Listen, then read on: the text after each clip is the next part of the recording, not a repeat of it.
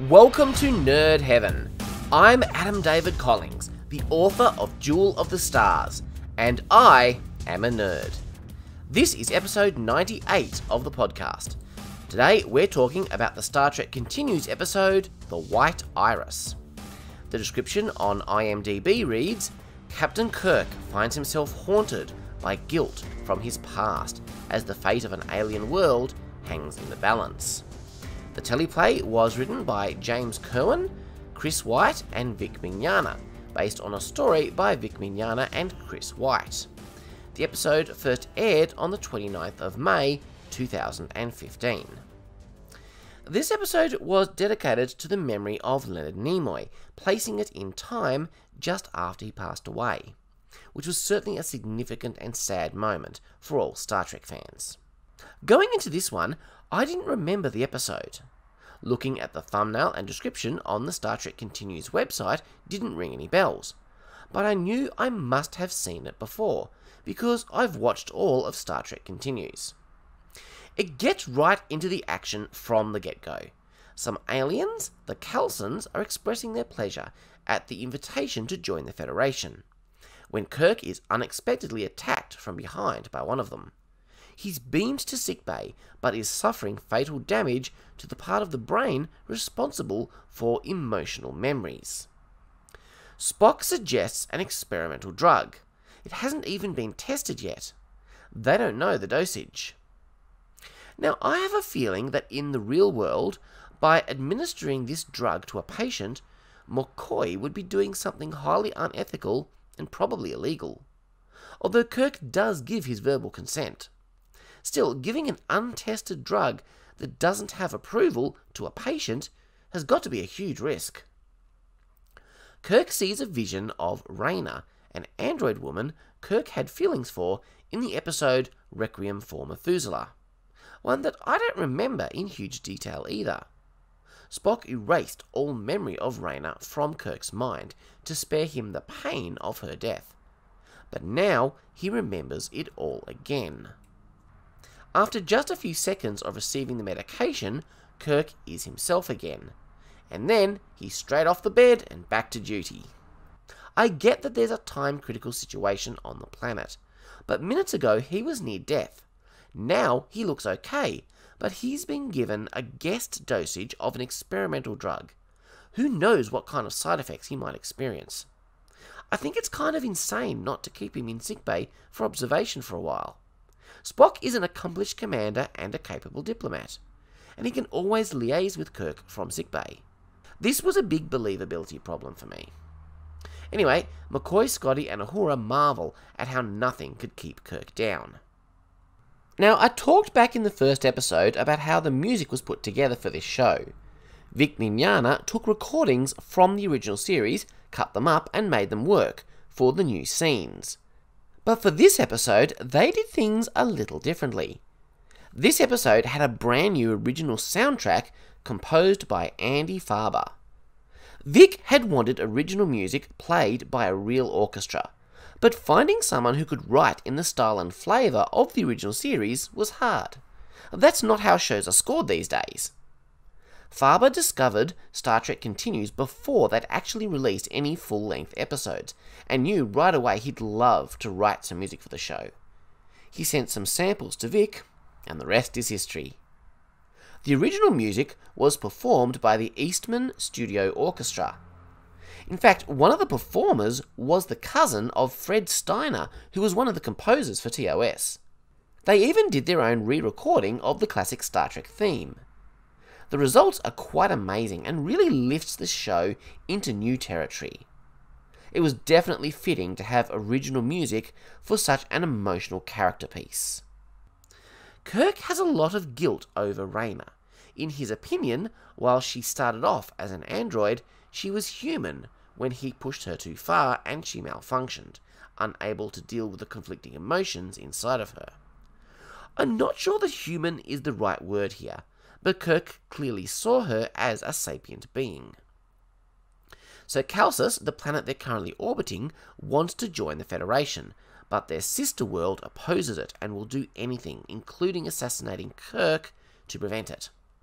Although I do wonder how they think Kirk's murder will accomplish what they want. The Federation is giving them a defense grid to protect their world, but Kirk is suddenly hesitant. Possibly because he's seeing another vision. This time, a woman named Nakia. She appears to be a new character created for Star Trek Continues. Interestingly, she is named after the actress that plays her, Nakia Burrise. Nakia is ghostly transparent. Kirk can't remember the passcode for the defense grid. He created the code himself, with the understanding he would make the final decision whether or not to give the grid to the Kelsons. Nobody else knows it. See, this is why you use a password management product like KeePass. Kirk leaves Spock in charge while he reports to sickbay for further tests. Spock hopes that Chekov might be able to decrypt Kirk's forgotten password. It wouldn't be a very secure system if that were possible. But Chekov mentions that at the Academy he once decrypted something of Xindi origin. This is really cool, as it's a reference to the Xindi, who nearly destroyed Earth in Enterprise Season 3. A story that took place chronologically long before TOS, but was of course produced long after TOS. I do appreciate these touches. On the way to sickbay, Kirk sees a little girl in the hallways. Who is she? So the sister planet fires a missile at Calsus. They're not mucking about. The representative is desperate for that defense network now. Why hasn't Kirk told anyone about his hallucinations? This is an annoying trope in Star Trek. A character is undergoing something super weird, but they keep it to themselves. It's pretty annoying. McCoy senses there's something Kirk isn't telling him, but Kirk is a little non committal as to what it is. There's something wrong with Kirk's heart. It's weakening, and McCoy has no medical explanation. Spock asks Chekov if he's tried a brute force attack to guess the password. Chekov points out that the computer on this device is designed to shut down on repeated failed login attempts. Well, that's something. Honestly, if a brute force attack could work, then Starfleet needs to fire their entire IT department. And Spock is pretty silly for suggesting it. Kirk finally opens up about Nakia. They served together on the Farragut 13 years ago. They were very close, but she died in the line of duty and Kirk blamed himself. He's never spoken of her. He thought he could forget her. I quite like that they created a new character from Kirk's past to go alongside the older ones that we've seen in the show previously. It means we're not just dwelling on nostalgia, as cool as that is, but we're also pushing things forward with new backstory. That's what sets this kind of writing apart from a lot of fanfiction. Technically, of course, this show is fanfiction, but it's of a very high quality. I'm really curious what a psycho tricorder detects. There is a strong link between the biological and the mental, of course, when it comes to health. There are physiological things that affect the mind, the emotions. But a standard medical tricorder should show you all you need to know about the physiological. And how can a device like a tricorder tell you about the non physiological aspects of mental health? It would have to be a telepathic device. Perhaps it's not so different from a standard medical tricorder. It's just configured to focus on aspects of the brain and body that are specifically related to mental health. In any case, Kirk's emotions are being affected. He's cranky, he's giving in to emotional outbursts that he'd normally control. He's ignoring very reasonable recommendations from McCoy and Spock, and honestly, being a little paranoid. The actress playing Edith Keeler is very well cast. She does a fantastic job of replicating Joan Collins' way of speaking. A replacement console is days away. Sulu emphasizes to Uhura to inform Spock as well as Kirk which already shows how he's starting to lose the confidence of his crew. Also, interesting to note that Smith is back, this time the Prime Universe version. So she's probably been on the Enterprise this whole time, since where no man has gone before, which I think is cool. The Enterprise is unable to destroy the incoming missile because it seems to have disappeared. We're never really given an explanation for this. I assume the sister planet has some form of cloaking technology on their weapons. we get a little more insight into the cultures of these sister planets. The people of Calcis developed a spiritual culture, while the others became more materialistic and disdainful of the Calcis way. Now, this is an example of the Planet of Hats problem, which Star Trek does so often, where an entire planet's population will share a specific personality trait. And this concept has been rightly criticised by many. But on the other hand, I think there's room for a little of it. If we look at the countries of Earth, we see there are some commonly shared traits. For example, the British people are often thought of as stiff, while we Australians have a reputation for being laid back.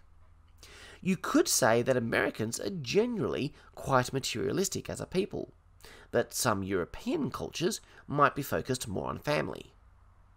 It's all generalizations and stereotypes, which of course will break down. But that doesn't mean there can't be some truth to these kinds of perceptions. So I'm willing to let the episode get away with this. Spock is meeting with McCoy and McKenna to discuss Kirk's state of mind. The physical injury is healed. His problems might be related to the experimental drug, but there's no evidence of this. McKenna can't assess his mental state without Kirk's cooperation. This might be one of the big differences between physical and mental health. While patient consent is certainly a big issue in medicine, you don't need much input from a patient to set a broken leg. But you can't help a patient with mental health difficulties unless they're willing to be a part of it. And Kirk is certainly not willing. He dismisses McKenna to discuss the issue at hand with his officers. The next hallucination Kirk sees is Miramanee, Kirk's late wife from the planet Amerind, where Kirk spent some extended time having lost his memory.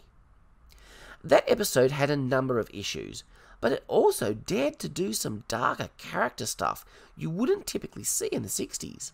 For that, and its introduction of the mysterious preservers, I quite like the Paradise Syndrome. Its biggest flaw, of course, is that it has zero consequences. We never hear of Miramanee or her child again. It's as if Kirk is just over it. But that's more of a flaw of the series and 60s television mentality in general than it is a flaw of this particular episode. Anyway, that's where Star Trek Continues comes in. The little girl shows up again. I wonder if Kirk is starting to put it together yet. McCoy is surprised to note that Spock is considering that what Kirk is seeing may be more than just hallucinations. Vulcans believe in the Katra, McCoy uses an argument I've often heard. I thought Vulcans were a people of science, implying that being a person of science precludes a belief in anything spiritual. Spock counters this by saying, To be a people of science is to acknowledge that sometimes science points to something more. Vulcans are also a people of spirit. Those two are not as contradictory as people assume. I think it can be argued whether this statement is consistent with Spock's character as established in TOS, but I really like its inclusion.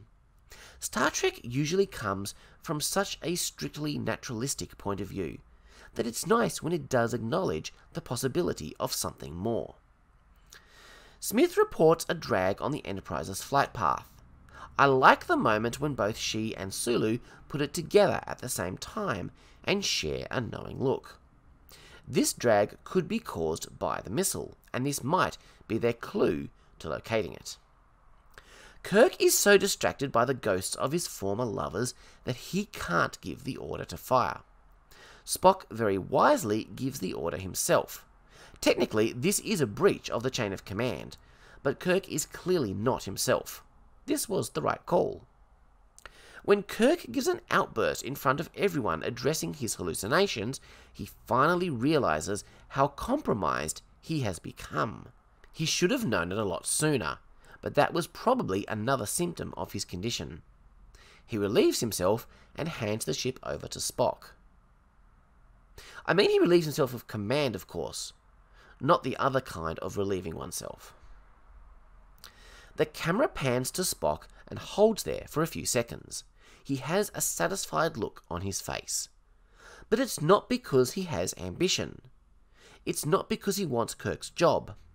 It's because his friend has finally seen the light and done what's best for him and others. McCoy reminds me, on purpose I'm sure, of Dr. Boyce when he brings Kirk a dose of brandy, but he needs a distraction to scan him. His heart is working at 15% efficiency. Another arrest is inevitable. When Kirk doesn't respond to McCoy as a doctor, he tries to engage him as McCoy the friend. But Kirk doesn't believe he's not alone. He's reminded of the women he has lost. Duty first. He asks McCoy if he thinks Kirk loved those women. McCoy answers, I think you've loved a lot of women, Jim. Kirk does have a reputation as a ladies' man, but that's not what Kirk is asking. Yes, he's had a lot of lovers in the past, but did he actually love them? Kirk answers yes, he did love them, and he can't let them go. Bones assumed Kirk was just a playboy who wanted a string of one night stands. But deep down, Kirk wants more than that. He always has. But Command leaves no room for those kinds of indulgences, at least at this point in Star Trek history.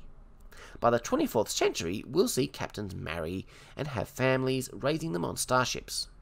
But this is not that kind of Starfleet. Not yet. This is where things get really interesting. Spock enters as Kirk is seeing all three women. He mind melds and sees them. He asks them what they want. So, what does this mean? Does it suggest they are more than just hallucinations? Can a Vulcan see another's delusions through a mind meld? I'm honestly not sure. Delusions and hallucinations happen in the brain, in the mind, and it is the minds that are connected. Spock says they need resolution, closure, of a type only Kirk can offer. So he's viewing them as something more substantial. Kirk is heading down to the planet with the console, against McCoy's recommendation. But is this different from before? He's relieved himself of duty, so Spock is currently in command. But maybe Kirk still needs to play a part in all of this. If he can get better, maybe he can remember the password. Except that's not where he goes, so maybe I misunderstood. When he first enters McKenna's quarters, there's a little moment that kind of mirrors one in the first episode, where McKenna walked in on Kirk shirtless. McKenna is hardly naked, but she does seem taken aback and covers her shoulder. I think the show might be suggesting there's some mutual attraction between these two, possibly because the actors were together in real life. But for memory, that doesn't go anywhere. Kirk doesn't know why he's here, but he's looking for answers. McKenna thinks this isn't about resolution, it's about guilt. Kirk is the one who needs the resolution. He needs to explain to them why he failed them, which he never had the chance to do before they died. These hallucinations give Kirk a unique opportunity that few of us ever get. Enter the pseudo holodeck. I'd forgotten that the show revisited this. He meets the women from his past in the place where he last met them. And he better hurry because there's 23 new tricobalt warheads headed for the planet. Edith wants to know why Kirk held McCoy back from saving her. Why did he deliberately let her die? She forgives him. She understands. I think it's possible the real Edith Keeler may have understood as well. She dreamed of the world he was saving.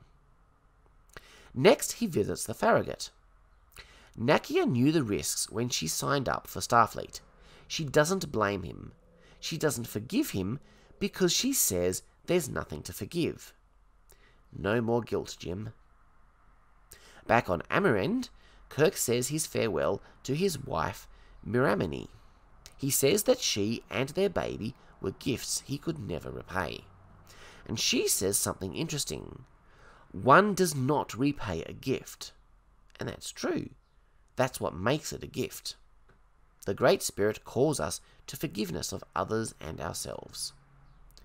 It's a hard moment of all the women Kirk has loved, Miramanee was the longest and most committed relationship. They were married. They conceived a child together. We always remember Edith Keeler and Carol Marcus, but we forget Miramanee. We shouldn't do that. Rayna is last, and she doesn't look impressed. This might be the hardest one of all. But then her face softens into a smile. There are no words exchanged. It seems none are necessary. It's a good performance from both of the actors. It's done. Kirk has experienced closure with all of them. But he still doesn't remember the password, and Calsus only has six minutes. Spock recommends withdrawal. When you have failed, there is nothing left to do but try to survive. But Kirk has another idea put the Enterprise in the path of the missiles with full shields. Spock surprisingly says they might be able to survive that, but they can't block all the missiles. But it's all they've got. This is the Starfleet way. You put your life on the line to protect others. Kirk is still seeing the little girl. Perhaps that's why his memory hasn't returned. He chases her through the ship. She offers him a gift, the same patterned stitching on the Native American headbands from Amerind. Realization dawns on him. This is his unborn daughter. She has no name because he never gave her one. And at this point in the episode, my heart is just shattering. Kirk apologizes to her that she never had a chance. He promises to love and remember her all the days of his life. As a father, this is a very emotional moment for me to watch. I can well believe that Kirk will think of her every day for the rest of his life. Of course, we'll never see that because this story was written long after the TOS movies that follow it chronologically. But it would be nice to see some sign that he continues to think about her in future episodes of Star Trek Continues. As she fades away, she whispers something in Kirk's ear. Evidently, this final closure allowed Kirk to remember the code. Kirk's log entry makes that sufficiently clear. The episode doesn't need to spend any more time on it. After seeing the technological might of the Federation, the Iretians have requested formal peace negotiations. That's a good outcome. We come to understand later that irises, the word that Kirk's daughter whispered in his ear, was the password. Kirk is now sold on the need for a ship's counselor. He has approved a dedicated office for McKenna. I guess she used her quarters beforehand. You need privacy for her kind of work. It turns out the password was likely inspired by the painting by Vincent van Gogh. It is said he only painted one of the irises white because he was lonely. Just like Kirk. If that's what he chose for his password, it shows just how lonely he really does feel. The episode closes with McCoy suggesting that the part of Kirk's heart that wouldn't give up belongs to another lady. The obvious meaning to this would be the Enterprise. She has always been Kirk's lady. But I couldn't help but think about Carol Marcus, the other great love of Kirk's life, who wasn't mentioned in this episode. Probably because he hasn't met her yet. In fact, another fan series, Star Trek New Voyages, did an episode that told the story of Kirk and Marcus's first meeting. I'm kind of tempted to add that episode into the mix as we're going through Star Trek Continues. I can't believe I didn't remember this episode, though it started to come back as I watched it. This is a beautiful character piece. It helps to solve one of the big problems of TOS lack of continuity. The episode provides consequences and continuation to some important emotional beats for Kirk in previous episodes. And much like how Avengers Endgame made some of the weaker Marvel movies more meaningful in retrospect, this episode adds power to those previous Star Trek episodes. So I think this is a triumph. Star Trek Continues actually reminds me a lot of Enterprise Season 4 seems to be doing a similar thing. Next time, we'll be travelling through time with another episode that I don't remember much about. divided we stand. In the meantime, have a great two weeks, live long and prosper, make it so.